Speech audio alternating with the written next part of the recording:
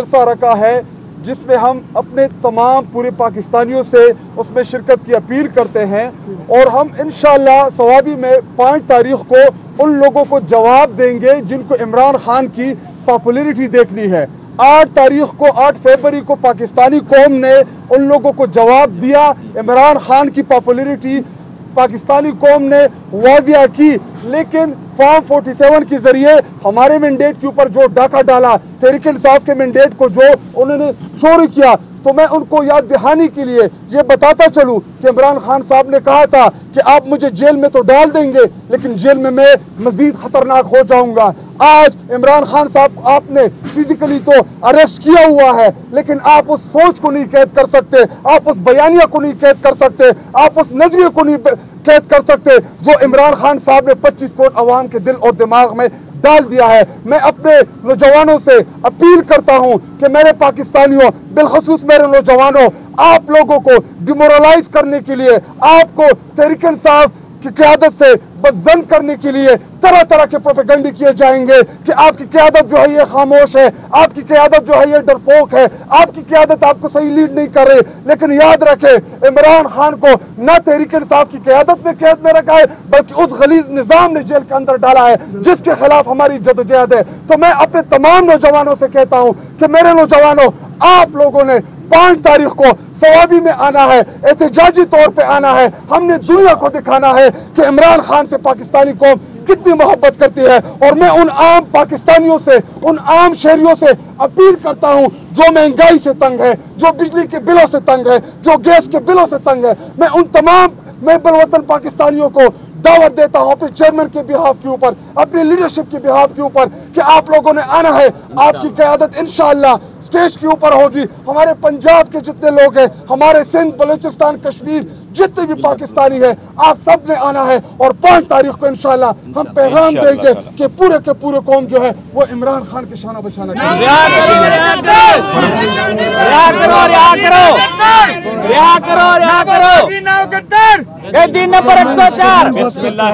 रहीम जैसा कि चेयरमैन साहब ने अभी फरमाया कि हम अभी हंगर स्ट्राइक जो जिसको बहुत दिन हो चुके और ये इन ताला तब तक जारी और सारी रहेगी जब तक हमारे महबूब की कायद हमारे लीडर रिहा नहीं हो जाते। आज कौमी असम्बली में मुतफ़ा तौर पर करारदाद पास की गई इसमाइल हानिया के लिए। हम पूरी पाकिस्तान तहरीक इंसाफ उनको खराज तहसीन पेश करते हैं कि जिस ज़रूरत के साथ जिस हौसले के साथ जिस अजमत के साथ उन्होंने ज़िंदगी गुजारी हम उनको खराज तहसीन पेश करते हैं। आज उनके लिए नमाज़ जनाजा अदा की गई नेशनल असम्बली में। और जैसा कि अभी शाहिद भाई ने भी और चेयरमैन साहब ने बात की, पाँच अगस्त के उस जलसे की जो स्वाबी में होने जा रहा है मैं अपने कारकुनान से, अपने भाइयों, दोस्तों से तो यकीनन हमारी अपील पहले ही है, लेकिन मैं अपील उन अदारों से भी करना चाहता हूँ कि हमें मत रोकें। दरियाओं और समंदरों के सामने बंद नहीं बांधे जा सकते। आपको हम अपनी नुमाइश दिखाएँगे अपनी कुत और ताकत दिखाएँगे।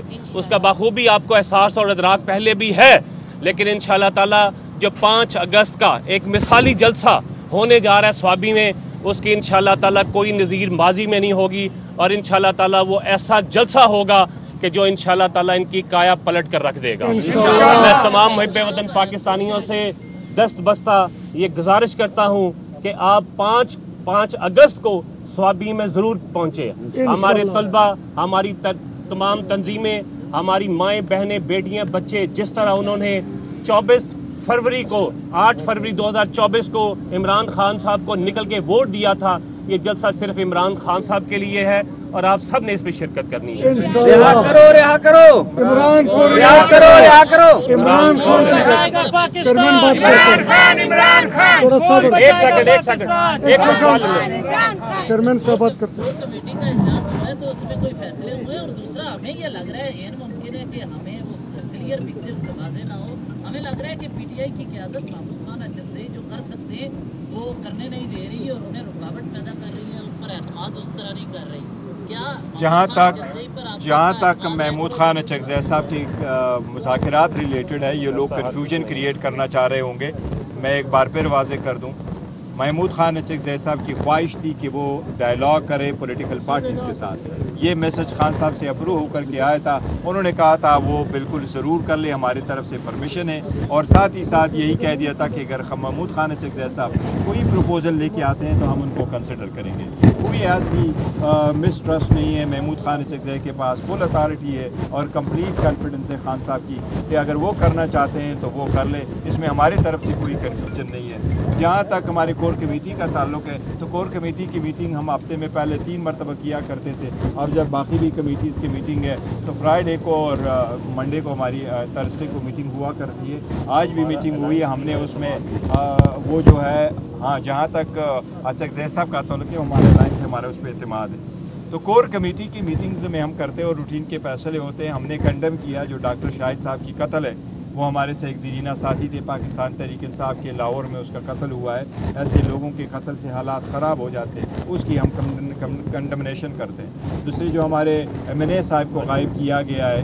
इम्तियाज़, आज इम्तियाज़ साहब को और बाकी साथियों को जिस तरीके से धमकियाँ आ रही हैं, उसकी बड़ी मजम्मत की हमने उसमें। साथ ही साथ हमने जो नई लेजिस्लेशन की तरफ़ जा रही है लेजिस्लेशन हम उनको नहीं करते कि वो कानून पास करने जा रही है लाकानूनीत करने जा रही है हुकूमत। अगर आप सुप्रीम कोर्ट के ग्यारह, तेरह जजेस के फैसले के बाद कुछ करना चाहते हैं तो ये लाकानूनीत है। उसके खिलाफ हमने भी, और वो आप प्रेस रिलीज़ आ जाएगी आपके पास।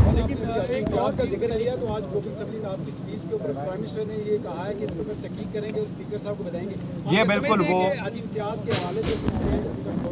देखो वो सिर्फ़ ये इस बात पे नहीं था जो वजी अजम साहब ने कहा था वजी अजम साहब को मैंने ये रिमाइंड करवाया था कि सुप्रीम कोर्ट ने एक ऑर्डर पास किया था जिसमें प्राइम मिनिस्टर की अंडरटेकिंग मांगी गई थी। और अंडरटेकिंग सुप्रीम कोर्ट ने ये मांगी थी कि वजी अजम अंडरटेकिंग दे कि आइंदा किसी को उठाया नहीं जाएगा वो जो भी है किसी भी पाकिस्तानी को नहीं उठाया जाएगा मगर वो क्या अगर वो किसी एफ़ आई आर में अरेस्ट होकर पुलिस स्टेशन लेके जाया जाता है। तो वजी अजम ने कहा कि मैं इसको मालूम करके इस अंडरटेकिंग की पूरी तरह से मालूम करके स्पीकर हाउस में दे दूँगा। तो ये उनके की एक स्टेटमेंट है। अल्हम्दुलिल्लाह, ये एक बात अच्छी है कि चलो उसकी एक अंडरटेकिंग हमारे सामने तो आ जाए। Thank you so very much ये बताइएगा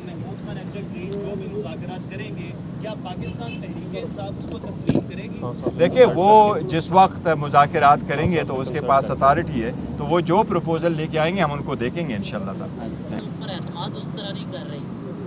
जहाँ तक जहाँ तक महमूद खान चकजै साहब की मुजात रिलेटेड है, ये लोग कन्फ्यूज़न क्रिएट करना चाह रहे होंगे। मैं एक बार फिर वाजे कर दूँ। महमूद खान चकजै साहब की ख्वाहिश थी कि वो डायलॉग करें पॉलिटिकल पार्टीज़ के साथ। ये मैसेज खान साहब से अप्रूव होकर के आया था। उन्होंने कहा था वो बिल्कुल ज़रूर कर ले, हमारी तरफ़ से परमिशन है। और साथ ही साथ यही कह दिया था कि अगर महमूद खान चकजै साहब कोई प्रपोज़ल लेके आते हैं तो हम उनको कंसिडर करेंगे। कोई ऐसी मिसट्रस्ट नहीं है, महमूद खान चकजै के पास फुल अथॉरिटी है और कंप्लीट कॉन्फिडेंस है खान साहब की कि अगर वो करना चाहते हैं तो वो कर ले। इसमें हमारी तरफ़ से कोई कन्फ्यूज़न नहीं है। जहाँ तक हमारी कोर कमेटी का ताल्लुक है तो कोर कमेटी की मीटिंग हम हफ़्ते में पहले तीन मरतबा किया करते थे और जब बाकी भी कमेटीज़ की मीटिंग है तो फ्राइडे को और मंडे को हमारी थर्सडे को मीटिंग हुआ करती है। आज भी मीटिंग हुई हमने उसमें वो जो है हाँ जहाँ तक अचक जै साहब का ताल्लुक है हमारे लाइन से हमारा उस पर अतमाद है। तो कोर कमेटी की मीटिंग्स में हम करते हैं और रूटीन के फैसले होते हैं। हमने कंडम किया जो डॉक्टर शाहिद साहब की कत्ल है, वो हमारे से एक दीना साथी थे, पाकिस्तान तहरीक साहब के लाहौर में उसका कत्ल हुआ है। ऐसे लोगों के कत्ल से हालात ख़राब हो जाते हैं, उसकी हम कंडमनेशन करते हैं। दूसरी जो हमारे एम एन ए साहब को गायब किया गया है, इम्तियाज़, आज इम्तियाज़ साहब को और बाकी साथियों को जिस तरीके से धमकियाँ आ रही हैं उसकी बड़ी मजम्मत की हमने उसमें। साथ ही साथ हमने जो नई लेजिस्लेशन की तरफ़ जा रही है लेजिस्लेशन हम उनको नहीं करते कि वो कानून पास करने जा रही है लाकानूनीत करने जा रही है हुकूमत। अगर आप सुप्रीम कोर्ट के ग्यारह तेरह जजेस के फैसले के बाद कुछ करना चाहते हैं तो ये लाकानूनीत है। उसके खिलाफ हमने भी और वो प्रेस रिलीज़ आ जाएगी आपके पास।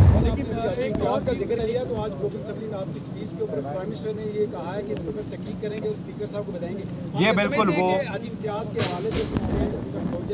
देखो वो सिर्फ़ ये इस बात पे नहीं था जो वजी अजम साहब ने कहा था। वजी अजम साहब को मैंने ये रिमाइंड करवाया था कि सुप्रीम कोर्ट ने एक ऑर्डर पास किया था जिसमें प्राइम मिनिस्टर की अंडरटेकिंग मांगी गई थी। और अंडरटेकिंग सुप्रीम कोर्ट ने ये मांगी थी कि वजी अजम अंडरटेकिंग दे कि आइंदा किसी को उठाया नहीं जाएगा। वो जो भी है किसी भी पाकिस्तानी को नहीं उठाया जाएगा।